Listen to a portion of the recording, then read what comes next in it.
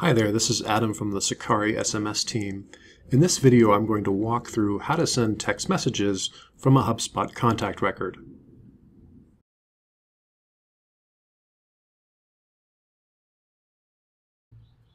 So we're logged into HubSpot, and we've already set up the Sakari text messaging integration.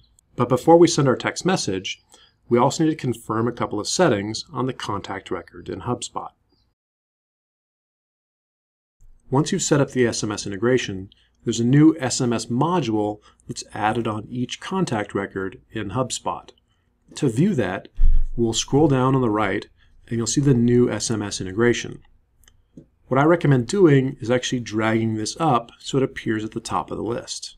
To do that, we'll take our cursor and put it over these dots and drag it up, and now it's at the top of the list.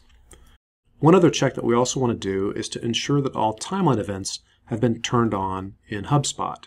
To do that, we'll click the Filter Activity button and ensure that Sakari has been checked on under Integrations. We're now ready to send our first text message. To do that, we'll click the Send SMS button in the right, and a new pop-up will appear. We can type our message and click the Send button to be able to send our message. The message is now being processed and will be sent shortly. To get a status update, we can refresh the page and we'll see that the message has been delivered. Additionally, because we've turned timeline events on, the sent message is displayed as a timeline event on the contacts record. You can see that here. By clicking the Details button, we can see the text that was sent to the contact. When your contact responds, the message will be visible in three different areas.